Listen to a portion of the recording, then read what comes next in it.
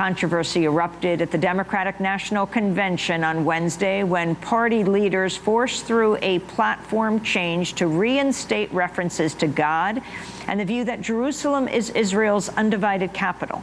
The language in question was included in 2008 but was left out when delegates approved their 2012 platform earlier this week following criticism from Republicans. DNC chair and Los Angeles Mayor Antonio Villaraigosa presided over a voice vote to reinstate the references through a two-thirds majority.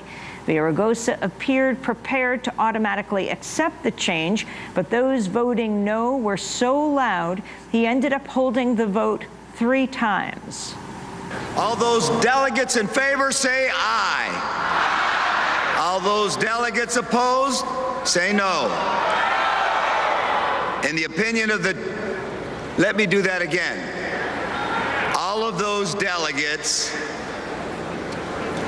in favor say aye. All those delegates opposed say no.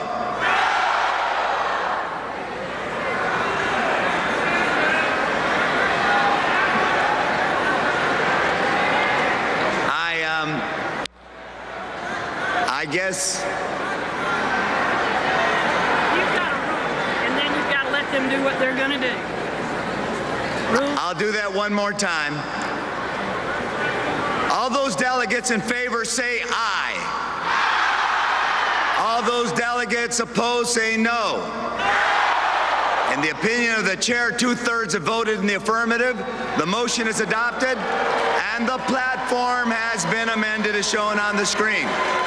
The recognition of Jerusalem as Israel's undivided capital stands in contrast to long-standing U.S. government policy, which calls for the city's status to be resolved through negotiations between Israel and the Palestinians. Israel's occupied East Jerusalem since 1967.